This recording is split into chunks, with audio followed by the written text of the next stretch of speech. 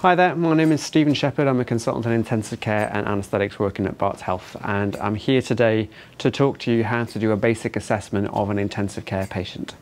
Um, first thing to say is you are not on your own. Uh, we have a clear plan to support people who are less experienced within intensive care in the management of such patients. But what we'd like to do is give you a framework in order to uh, allow you to function as if you are a first day intensive care SHO walking into their first shift.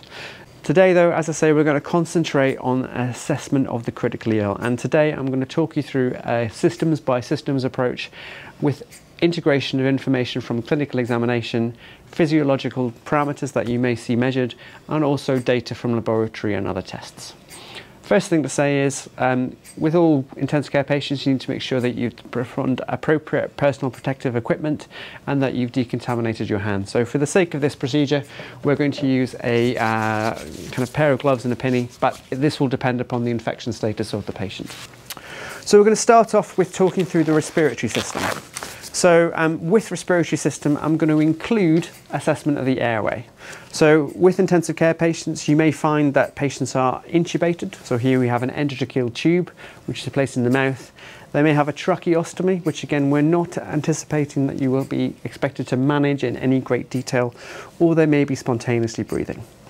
With an ET tube, you'll see that it's put in and there are markings down the side. Um, it's important not to assume that just because something is there, particularly when it comes to the airway, that it's necessarily in the right place. And you should always start off by checking that it is where you left it. So you can see here that at the teeth, it's 24 centimetres.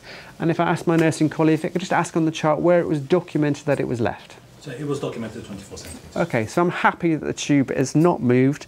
Also, when I look at the tube, can I see misting? That would imply it's within the trachea. And if I look at the sheen, which again there's a separate session on monitoring, at the bottom we'll see that there is a number uh, which currently reads around 4. That is the end tidal CO2. That essentially is a measurement coming from here of gas exhaled and that only comes from your stomach, uh, from your lungs. You don't get CO2 from your stomach. Therefore, we can be reassured that the tube is in the right place. So, I'm going to move on to the rest of the respiratory assessment, and this is going to follow a look, listen, feel type of approach. So it's important to look, stand back at the patient. So I can see this patient is on a ventilator. I need to look at the chest and see whether or not there is symmetrical chest rise.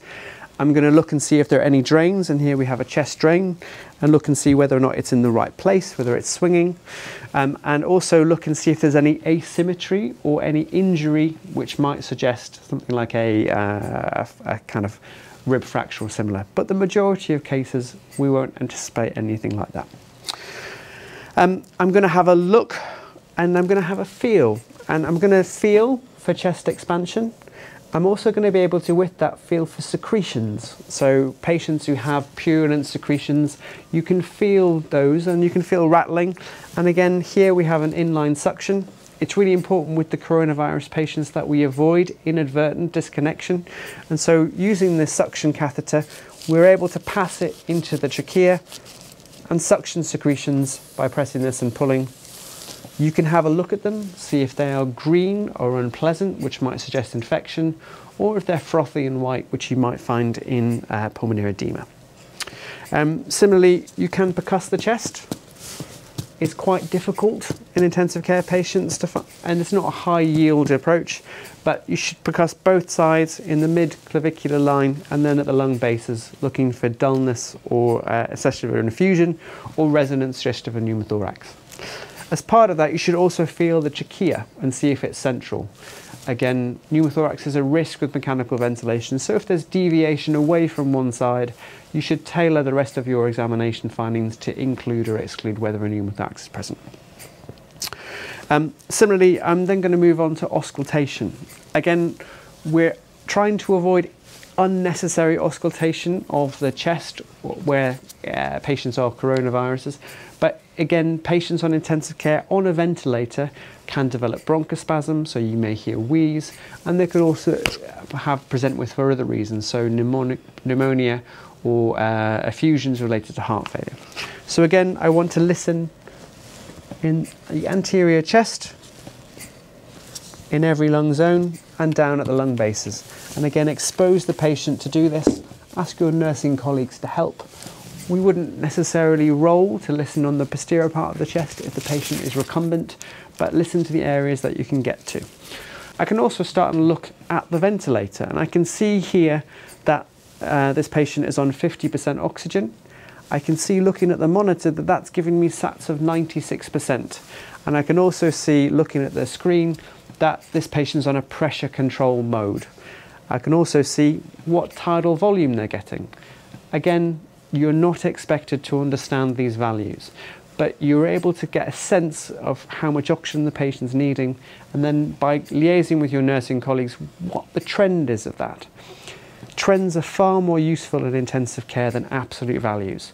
So again, I can see they're on a 50% oxygen. Can you tell me what their most recent blood gas is? So the blood gas from today at 2 o'clock shows a PCO2 of 5.6 and a PaO2 of 9.8 with a pH of 7.37.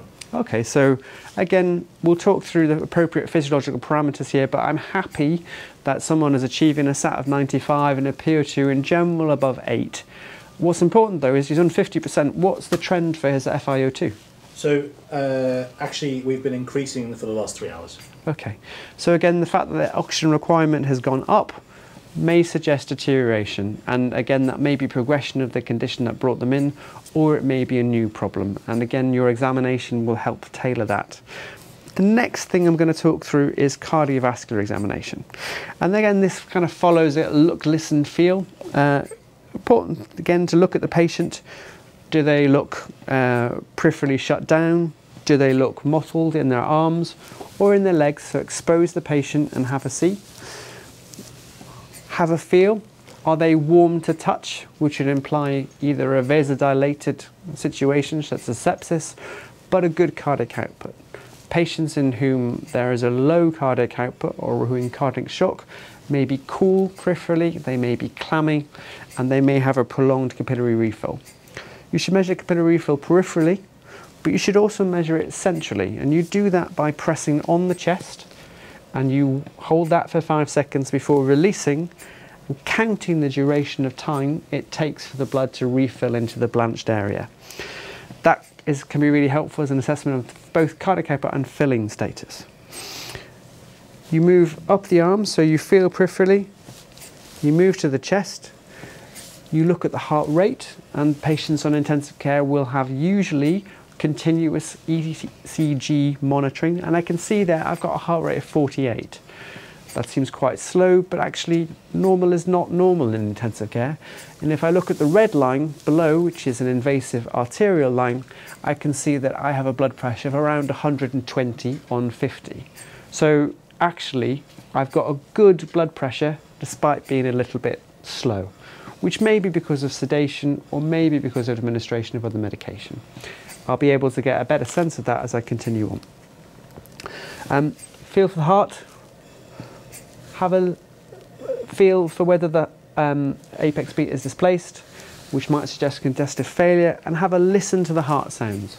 Again, these can be difficult to hear over the ventilator, but they can be helpful if there's a change. So if you have normal heart sounds and then you develop a murmur, that may be an indication to ask for more specialist tests or for a review. And again, it's important to highlight to the intensive care consultant who will be supporting you through this process. Um, have a little feel of the rest of them, have a feel of the legs, feel for the peripheral pulses, and also look and see if the patient is significantly edematous. This may represent congestive failure, but actually critical illness induces a leaky state, so patients often become significantly edematous. And actually that may be a sign that you may need to look at their fluid balance, which we'll talk later on.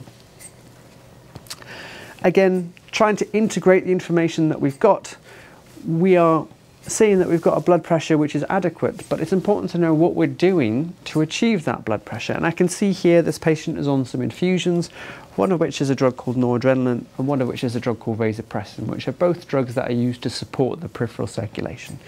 Again, you want to know what the trend is. So if I could ask, what, what, what dose of noradrenaline are we on? So and is it going up or down? The dose is uh, 0.1 mics per kilo per minute and it's unchanged and the same with vasopressin. Okay.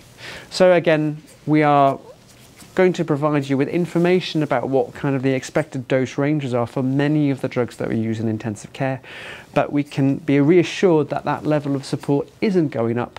And again, if we look at the trends on the, on the um, blood pressure chart, we can see that actually this patient's blood pressure has been stable over that period. So although his FiO2 has gone up, his degree of cardiovascular support hasn't changed. I can also ask about some of the results of tests, so in particular blood gases, and the thing that I really would be interested in is the lactate. So if you could tell me what that is. So the lactate from 2 o'clock is 1.6. Okay, so a normal lactate is less than 2. Um, lactate is a marker of essentially your body switching to uh, anaerobic metabolism or a sign that perhaps you aren't getting enough perfusion to your peripheral tissues. The fact that it's normal suggests that we've got reasonable peripheral perfusion and therefore a reasonable cardiac output. Okay.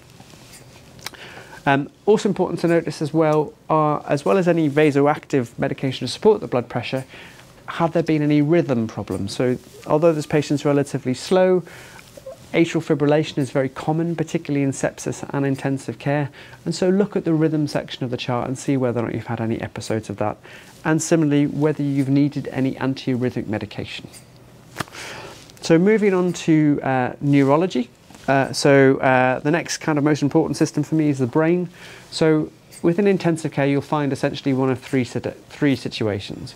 You'll have a patient who's awake, you'll have a patient who's sedated, or you'll have a patient who is sedated and paralysed, or on an infusion of medication to prevent their muscles from working. And that's very frequently performed in patients who've got ARDS because it is a uh, intervention that actually is helpful in reducing the period of time that a patient needs to be on a ventilator. So you need to make an assessment of their conscious level if they are not on medication that is sedative or paralysing, and their degree of sedation uh, if they are. And you do this in the same way you would many things. So, hello, Mr. Jones, how are you keeping? So, look to response to voice. If that doesn't respond, look to a response of stimulation, uh, gentle stimulation, and look to see if the patient moves. But actually, he's not.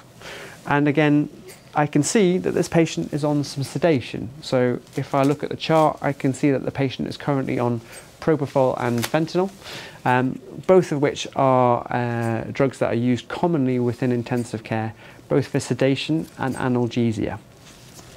We use an analgesic based strategy, so we tend to have patients on infusions of an opiate or similar because we want to preempt pain.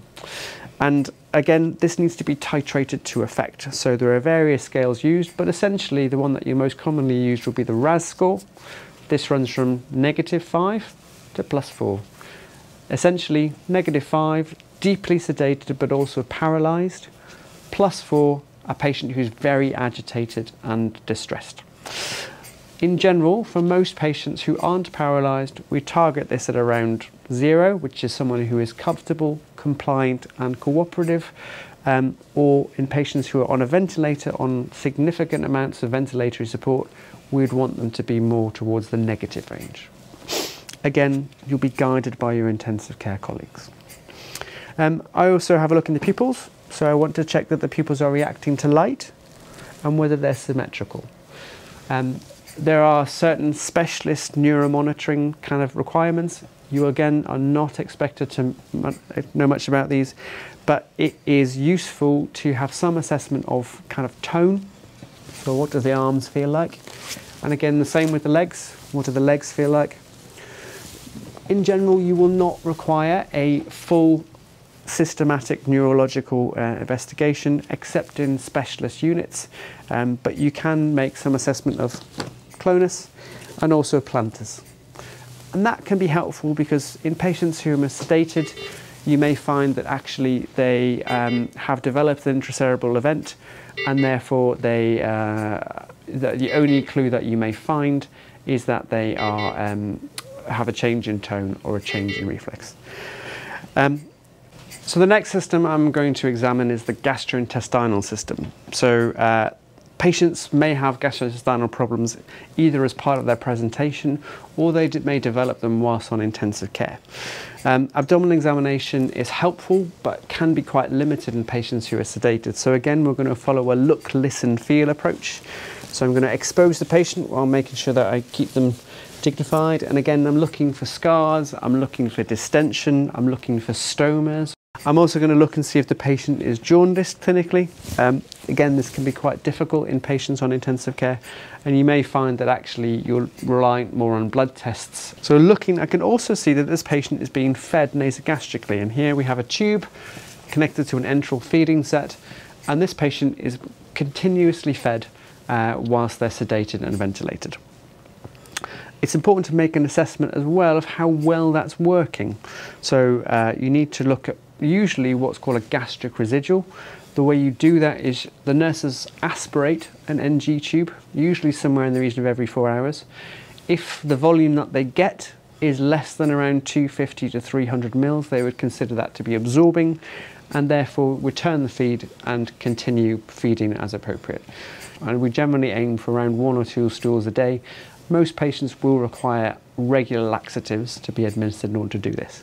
I'm feeling for tenderness, I'm feeling for masses, um, I'm also feeling for distension. Patients who are on an infusion of paralysis will not develop guarding because their muscles will not be able to contract, but they may still have percussion tenderness. Moving on to gas GU, uh, I can see that this patient is not attached to a dialysis machine and I can see that there's a catheter in place and it will be documented on the chart as to what their fluid balance is. So over 24 hours it's negative one litre Mhm. and over the last three hours it's 670 mils in total. By now, I should have got some information to start and allow me to make an assessment of where I think their fluid balance is. So uh, I have some idea about their hemodynamics because I've looked at their blood pressure, their pulse, how much support they are requiring, but also get an assessment about what their filling statuses and whether they're edematous. Um, you are not expected to manage hemofiltration or dialysis. Those are more specialist areas of, of management, and you'll be guided by nephrology or intensive care colleagues in those patients. Um, but it's important to notice if a patient is receiving ongoing hemofiltration and what kind of the fluid balance has been over the past two to three days. It's also important to ask or note if a patient has previously or recently been on hemofiltration. If it's off, you get an idea about how their renal recovery has gone and whether they're continuing to pass urine off that level of support. Moving on from GU, we're going to move on to hematology. Anemia is quite frequent within intensive care and we often accept very different values to ones that you might expect with an award patient. So again, this is a discussion uh, on the ward as to what hemoglobin target to get. It's important to look for any overt signs of blood loss. The need for transfusion is quite frequent within intensive care. A drop or change in your platelet count is very common within intensive care and can have many reasons, which include sepsis or include activation of blood that's going through artificial machines.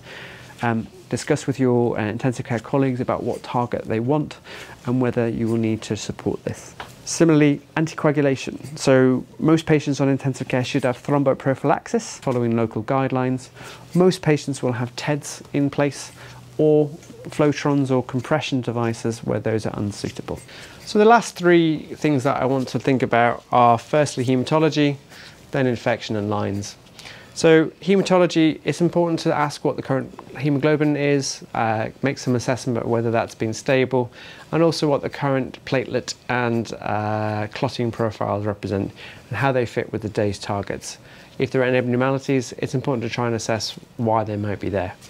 Similarly, for infection, um, what's the temperature and what's the trend been over the past 24 hours? What antimicrobials are patients prescribed and what day? And what's the trend in their inflammatory markers such as white cell count and CRP? Again, look for common sources such as the chest, such as diarrhea, such as uh, infection of the urinary tract. Um, but actually, and this falls to our last point, lines are a particular source of contamination, and therefore it's important to assess the uh, cleanliness uh, and whether lines are appropriately uh, dressed and stitched, but also whether they're still needed, and take away any bits of plastic uh, following the ward round and discussion that you no longer need. A assessment then includes a assessment, a, a review of the drug chart. The last thing is to give your patient a, a FAST HUG or a FAST HUG BID. Um, this is a, a, mnemonic that's used to try and uh, ensure that you don't miss some of the basic things which we know make a significant difference to outcome. A lot of these patients will have very similar physiology. They will be vasodilated and they will have a pneumonitis causing hypoxia. But one of the big things that changes outcome in intensive care is avoiding secondary injury. In particular, acquired infection, DVTs, or inadequate feeding. So FAST HUG comprises a number of reminders just to check that you haven't missed anything as part of your assessment. We've covered a large number of these, but I'm going to go through them again. So F is for feeding. So is the patient being fed? How? Is it working? Are they absorbing? And if they're not being fed, why not? Do you need to go another route, such as parenteral nutrition? A is for analgesia. Is the patient appropriately comfortable? We can see here this patient's on an infusion of fentanyl to keep them comfortable, but in patients who are awake, make sure you consider whether or not they need simple analgesia such as paracetamol or stronger um, medication as in discussion with uh, a member of the intensive care team. S is for sedation. So it's important to know what sedation they're on, how deeply sedated they are, but also ask the team every day should the patient have a uh, sedation break. Again, this will be led by your consultant um, and they will advise you whether or not it's appropriate at this time for the patient to be woken briefly or even sedation to be ceased. But it's a prompt to remind. T for fast is thromboprophylaxis. H is for head up 30 degrees. So you can see that this patient is not flat on their back. We've tilted them up. Um, in doing so, we're hoping to improve the compliance of the lung at their bases. U is for ulcer prophylaxis. Last G is for glucose. Uh, and so you will find that a large number of patients on intensive care are on infusions of Actrapid or insulin in order to maintain a blood sugar of somewhere around 4 to 12. BID, so we've got a FAST HUG BID. First B is for, well, B is for bowels. Um, have they opened them today? Are they on appropriate uh, laxatives or aperients? I, invasive devices, which again I've discussed. Can we take anything out? Is everything clean? Is everything working? And the last one is for de-escalation of antibiotics. And so wherever we can, we should, in com conversation with our microbiology colleagues, aim to get the right drug for the right patient. That's the end of this session. Thank you.